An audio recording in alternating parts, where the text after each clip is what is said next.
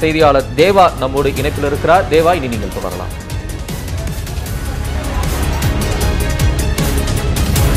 நன்றி தம்பி. இப்ப ஊரக நகர்ப்புற உள்ளாட்சி தேர்தலுக்கான வாக்குப்பதிவு வாக்கு எண்ணிக்கை நிலவரம் தற்போது தொடர்ந்து வெளிவந்த வண்ணம் இருக்கின்றது. மொத்தம் பன்னிரெண்டாயிரத்தி எண்ணூற்று முப்பத்தி ஏழு பதவி இடங்களுக்கு நடைபெற்ற தேர்தல் முடிவுகள் தொடர்ச்சியாக வெளியாகி இருக்கின்றன இன்றும் நகர்ப்புற பேரூராட்சி நகராட்சி ஆகிய தொகுதி ஆகிய பகுதிகளுக்கான முன்னிலை நிலவரம் என்று வெளியாகி இருந்தாலும் கூட ஒரு சில இடங்களில் வெற்றி தோல்வி என்பது அறிவிக்கப்பட்டு வருகிறது. ஆனால் இன்னும் மாநகராட்சி மொத்தம் இருக்கக்கூடிய இருபத்தி ஒரு மாநகராட்சிகளில் வெற்றி முடிவு என்பது அதிகாரப்பூர்வமாக வெளியிடப்படவில்லை என்றாலும் கூட இன்னும் இன்று மாலை வரைக்கும் வாக்கு எண்ணிக்கை நடைபெறக்கூடிய நிலையில் கூட தற்போது வரைக்கும் வெளிவந்திருக்கக்கூடிய முன்னிலை நிலவரத்தை பொறுத்து பார்த்தால் திமுக பெரும்பாலான இடங்களில் கைப்பற்றி முன்னிலையில் இருப்பதை நம்மால் பார்க்க முடிகிறது. மொத்தம் ஆயிரத்தி முன்னூற்றி எழுபத்தி மூன்று வார்டுகளுக்கான அந்த வாக்கு எண்ணிக்கையில் திமுக பெரும்பாலான இடங்களில் சுமார் முன்னூறுக்கும் அதிகமான வார்டுகளில் திமுக முன்னிலை பெற்றிருக்கிறது. அதிமுக சுமார் நாற்பது வார்டுகளில் முன்னிலை பெற்றிருப்பதாகவே தற்போது அண்மை செய்தி நமக்கு கிடைத்திருக்கிறது. இந்த நிலையில் நியூஸ் ஐடின் தமிழ்நாடு தொலைக்காட்சியின் தரப்பிலிருந்து தமிழகம் முழுவதும் குறிப்பாக இந்த நகர்ப்புற உள்ளாட்சி தேர்தலை கருத்தில் கொண்டு நிறைய இடங்களில் செய்தியாளர்கள் இதற்கென்று பிரத்யேகமாக கடந்த ஒரு மாத காலமாக உழைத்திருக்கிறார்கள். குறிப்பாக இந்த வாக்கு எண்ணிக்கை நிலவரத்தை முன்கூட்டியே மற்ற செய்தி தொலைக்காட்சிகளை காட்டிலும் முன்கூட்டியே மக்களுக்கு கொண்டு செல்வதற்காக நிறைய பிரத்யேக ஏற்பாடுகளை நியூஸ் எயிட்டின் தமிழ்நாடு மேற்கொண்டிருக்கிறது. நீங்கள் பார்க்கலாம். ஒவ்வொரு பகுதி பகுதி வாரியாக செய்தியாளர்கள் அங்கு அமர்த்தப்பட்டு அவர்களிடமிருந்து உடனடியாக தகவல்கள் பெறப்படுவதற்கு எதிராக பிரத்யேக கட்டமைப்பு பிரத்யேக மென்பொருள் என்பது போன்ற பல்வேறு சிறப்பு ஏற்பாடுகள் செய்யப்பட்டிருக்கிறது. இந்த நிலையில் தற்போது நம்முடன் இந்த குழுவை குழுவில் அங்கம் வகிக்கக்கூடிய ராஜா நம்முடைய செய்தியாளர் ராஜா இருக்கிறார். ராஜா தற்போது என்ன மாதிரியான சிறப்பு ஏற்பாடுகள் நம்முடைய செய்தியாளர்கள் எப்படி எல்லா செய்திகளை கொடுத்துட்டு இருக்காங்க இது எந்த அளவுக்கு மற்ற தொலைக்காட்சியில காட்டும் எந்த அளவுக்கு முன்கூட்டியே நமக்கு செய்தியை கொடுக்க முடியுது? நிச்சயமா அதாவது இப்போ இது வரைக்கும் நடந்துகிட்டு இருக்கிற இந்த கவுண்டிங் வந்து ரொம்ப பரபரப்பாக போகுது. தொடக்கத்தில் வந்து ரொம்ப மெதுவாக போன மாதிரி இருந்தது. அப்புறம் பார்த்தீங்கன்னா வேகம் எடுக்க தொடங்கியிருக்கு. எத்தனை சுற்றுகள் இது வரைக்கும் முடிஞ்சிருக்கு அப்படின்னு ஒரு ஒரு பொதுவான ஒரு அவுட்லைன் பார்த்தீங்கன்னா மாநகராட்சிகளில் சில மாநகராட்சிகள் குறிப்பாக இந்த ஆவடி தாம்பரம் காஞ்சிபுரம் போன்ற மாநகராட்சிகளில் அந்த தபால் வாக்குகள்லாம் முடிஞ்சு இப்போ தான் வந்து அடுத்த ஒரு ஒரு சுற்றுகளாக போய்கிட்டு இருக்கு. மற்ற எல்லா தொலைக்காட்சிகளை விட நம்ம வந்து துல்லியமாக சரியான நேரத்தில் ஒரு ஒரு வார்டுலையும் குறிப்பிட்ட இரநூத்தி முப்பத்தி நாலு தொகுதி சட்டமன்ற தொகுதி இருக்குதுன்னா அதில் ஈஸியாக வந்து பர்டிகுலராக இந்த தொகுதியில் வின் பண்ணிட்டாங்கன்னு சொல்லிட முடியும். பட் இங்கே வந்து நம்ம ஒரு ஒரு வார்டு வரைக்கும் நம்ம கான்சன்ட்ரேட் பண்ணுறோம் அதில் குறிப்பாக பார்த்தீங்கன்னா ஆவடியில் இப்போ நாற்பத்தி எட்டு வார்டுகள் இருக்குது நாற்பத்தி எட்டில் வந்து இது வரைக்குமான தகவல்களில் திமுகவோட ஆதிக்கம் அதிகமாக இருக்குது அதே போல் பார்த்தீங்கன்னா திருவள்ளூர் திருவள்ளூர் காஞ்சிபுரம் செங்கல்பட்டு ஆகிய சென்னையை ஒட்டின மாவட்டங்கள்லேயும் திமுகவோட ஆதிக்கம் அதிகமாகவே இருக்குது அதிமுக இரண்டாம் இடத்து இருக்கிறத நம்ம கண்கூடாக பார்க்க முடியுது.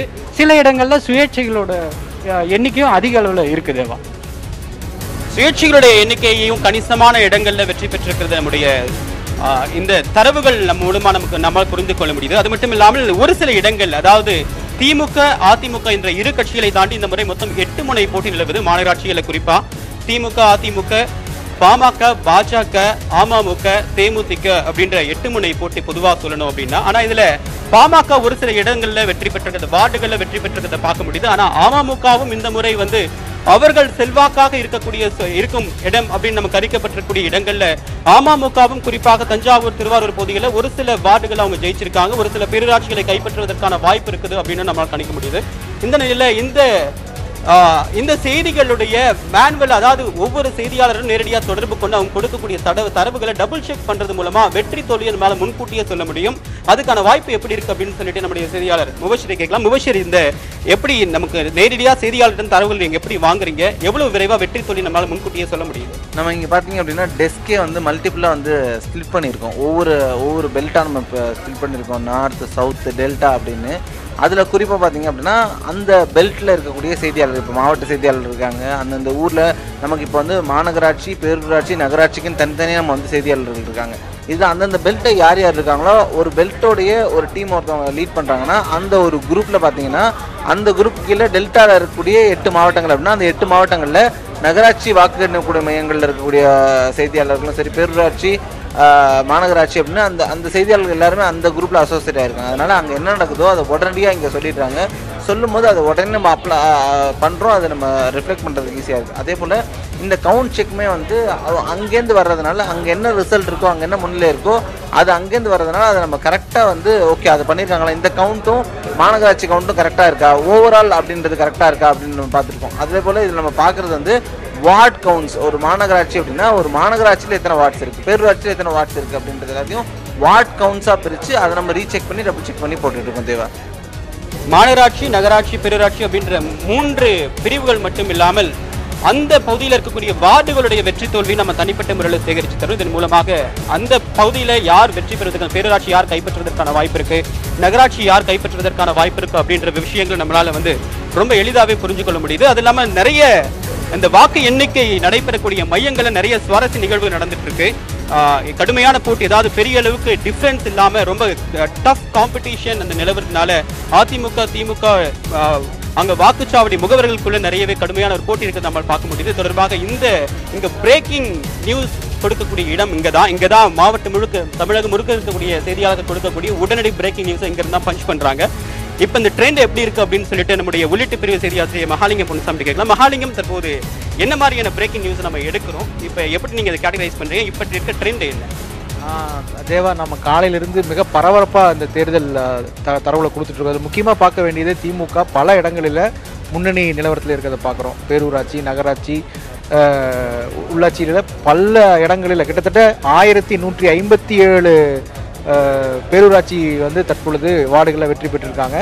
திமுக தான் லீடிங்கில் இருக்காங்க. ஏடிஎம்கே வந்து ரொம்ப பின்தங்கி இருக்காங்க அப்படின்னு பார்க்குறோம். ஸோ திமுகவுடைய ஸ்கெட்ச் வந்து ரொம்ப மேலே இருக்குது பாரில் அதிமுக அதுக்கு அடுத்தது அதற்கு கீழே பார்த்தீங்கன்னா மூன்றாவது கட்சியாக காங்கிரஸ் இருக்கிறத நாம் பார்க்குறோம். அதற்கு அடுத்ததாக பார்த்தீங்கன்னா பிஜேபி வந்து பத்து ஒன்று இரண்டு இப்படி வெற்றிகளை வந்து பெற்றிருக்கிறத பார்க்குறோம். இந்த ட்ரெண்டு படி பார்த்தோம் அப்படின்னா இது வரைக்கும் பேரூராட்சிகளில் இரண்டாயிரத்தி ஐந்து இடங்களில் வெற்றி அறிவிப்பு என்பது இருக்குது அதில் பெரும்பான்மையாக ஆயிரத்தி முந்நூறு வரைக்கும் திமுக கூட்டணி ஜெயிச்சிருக்கிறத பார்க்குறோம். இதில் இன்னொரு விஷயம் பார்க்கணும் அப்படின்னா சின்ன சின்ன இடங்களில் இப்போ விஜய் மக்கள் இயக்கம் அவங்க ஒரு மூணு இடத்துல ஜெயிச்சிருக்காங்க.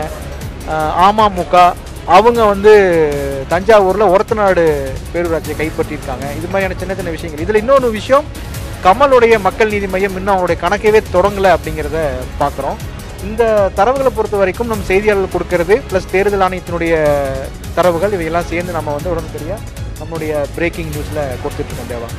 அதே நம்முடைய உள்ளீட்டு பிரிவுடைய வெளியீட்டு பிரிவுடைய முக்கியமான நிர்வாகி தற்போது நம்முடைய திரு பொன்ராஜ் தற்போது இந்த செய்தி பிரேக்கிங் செய்திகள் நீங்கள் எப்படி வகைப்படுத்துறீங்க? குறிப்பாக இந்த வாக்குச்சாவடிக்குள்ளே என்ன மாதிரியான நிலவரம் நிலவுது? வாக்கு எண்ணிக்கை நடைபெறக்கூடிய இடங்களில் இருக்கக்கூடிய முகவர்கள் என்ன மாதிரியான அழுத்தத்தை அங்கே இருக்கக்கூடிய நிலைமை நமக்கு உணர்த்துது? வாக்கு இப்போ வாக்கு எண்ணிக்கையை பொறுத்தளவில் நமக்கு வந்து உடனுக்குடனே கொடுத்துட்டே இருக்கிறாங்க. இத்தனை இந்த பேரூராட்சிகளில் இத்தனை வார்டுகளில் இத்தனை இந்தந்த கட்சிகளை வெற்றி பெற்றிருக்காங்க அப்படின்னு சொல்லி. நமக்கு என்னன்னா அந்த பேரூராட்சிகளில் எத்தனை மொத்த வார்டுகள் இருக்குது அப்படிங்கிற டீட்டெயில் உடனுக்குடனே கொடுக்குறதுனால அதை வச்சு நம்ம வந்து அதிகப்படியான எந்த கட்சி வந்து வெற்றி பெற்றிருக்கு அப்படிங்கிறத வந்து உடனே தெரிஞ்ச உடனே அந்த வ- பேரூராட்சியை கைப்பற்றியதா? அதே மாதிரி நகராட்சியை கைப்பற்றியதா? மாநகராட்சியை கைப்பற்றியதா அப்படிங்கிற விவரங்களை வந்து உடனுக்குடனே நம்ம கொடுக்குறோம். வழக்கமாக வந்து வார்டுகள் முடிவுகள் மட்டும்தான் வெளியாகுது. ஆனால் நம்ம அதே அதை மட்டுமே வச்சுக்கிட்டு அதிகபட்ச வார்டுகளை கைப்பற்றும் போது இந்த மாநகராட்சியை இல்லை இந்த நகராட்சியை இந்த பேரூராட்சியை வந்து திமுக கைப்பற்றியது அல்லது அதிமுக கைப்பற்றியது அப்படின்னு வகைப்படுத்தி அதை வந்து நம்ம பிரேக்கிங்காக நம்ம மாற்றிக்கிட்டு அதாவது எவ்வளவு விரைவாக எங்களால் செய்தியை கொடுக்க முடியுது? அங்கே இருக்கக்கூடிய உடனடி செய்திகள் செய்திகள் கொடுக்கப்படக்கூடிய செய்தியாளர்கள் எந்த அளவுக்கு விரைவாக தராங்க அப்படின்ற விவரத்தை நம்முடைய வெளியீட்டு பிரிவு துணை செய்தி ஆசிரியர் புண்டாஜ் பொன்ராஜ் வழங்க கேட்டோம். தவணி தம்பி நீ உங்களிடம். நன்றி. தேவா செய்தி அறையில் எவ்வாறு செய்திகள் நேயர்களுக்காக வழங்கப்படுகிறது என்பது குறித்த பல்வேறு தகவல்களை வழங்கியமைக்கு உங்களுக்கு நன்றி. தொடர்ந்து நகர்ப்புற உள்ளாட்சி தேர்தல் முடிவுகளின் வெற்றி முன்னணி நிலவரங்களை பார்த்துக் கொண்டிருக்கிறோம். தற்போதைய நிலவரப்படி திமுக கூட்டணி பெருவாரியான இடங்களில் வெற்றியை பதிவு செய்திருக்கிறது.